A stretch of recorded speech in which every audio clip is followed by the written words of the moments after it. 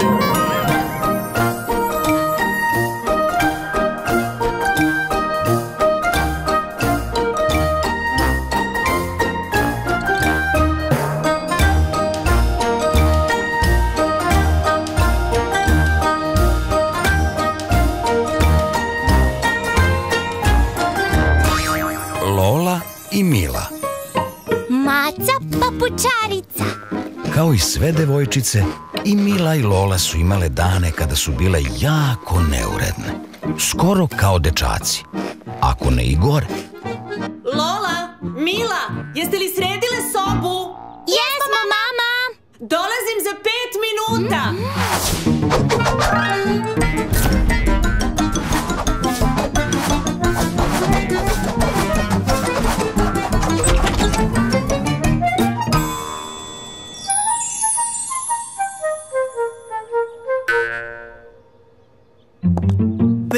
Bravo, vrednice, mamine. Trud se uvek isplati. I zato dođite da vas mama zagrli. Mila, Lola, da ste se odmah odmakle od ormara.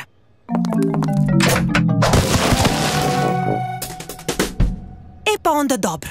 Nek vam dođe maca papučarica pa nek vam uzme stvari. A što da nam uzme stvari? Zato što je to maca koja voli red. I kad su deca neuredna, ona im uzme stvari.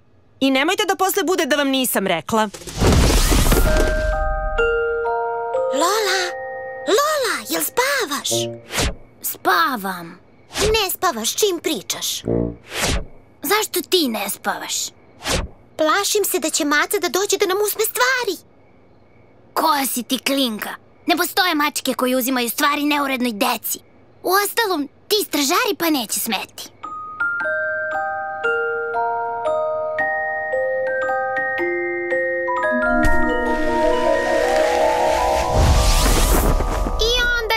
Maca uzela Lolinu trenerku i papuču.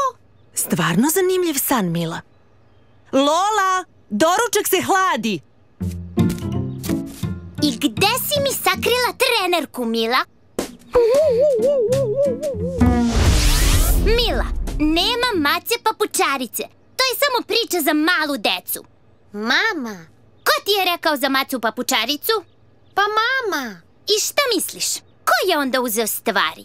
Uostalom, dokazat ću ti. I tako su Mila i Lola iz noći u noć pokušavale da uhvate mamu na delu. Ali stvari su nestajale i nestajale sve dok se Mila i Lola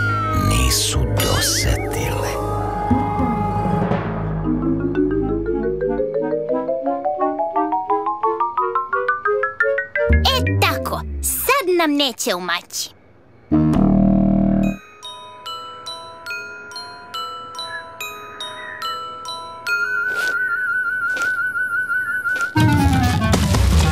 Mama, upecana si!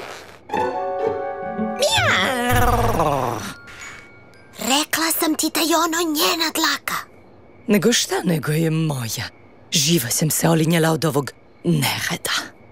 Sad smo ti još i mi krive što kradeš naše stvari. I u ostalom, što ne kradeš samo papuče kad te već zovu papučarica? Ostaloj deci i uzimam samo papuče da bi ih naučila redu. Jer ostala deca samo papuče ne drže na svom mestu. Miau. Ali vas dve? Trenerka na lusteru, sendvič u fioci, bojice među čarapama. Šest života sam izgubila zbog vas dve. Sva sreća pa ih imaš devet. U tome i jeste problem. Tek treba taj deveti da mi dodele. Zar se to dodeljuje? To mi je nešto kao... mm, kao crni pojas u karateu.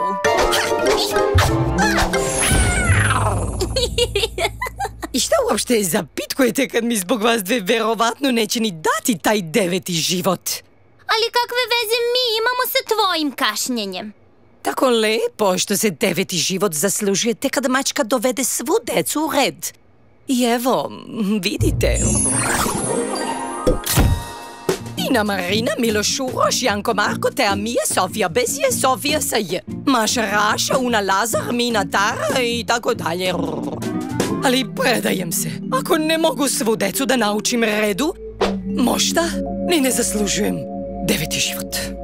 A šta će da se desi ako ne stigneš? Ostaću sa osam života. Šta je mačka sa osam života? To nije mačka, to je pas.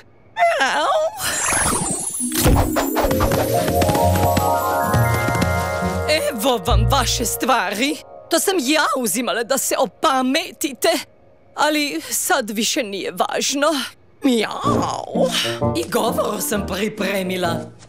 Hvala moje mami što me naučila trudu i redu, jer se to uvek isplati. Ali izgleda da se ne isplati. Stani, isplati se. I naša mama to stalno priča.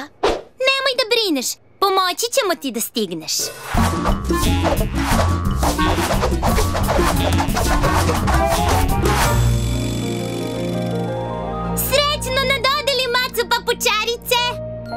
Tako su Mila i Lola pomogle Maci da dobije deveti život, a Maca je pomogla njima da postanu uredne.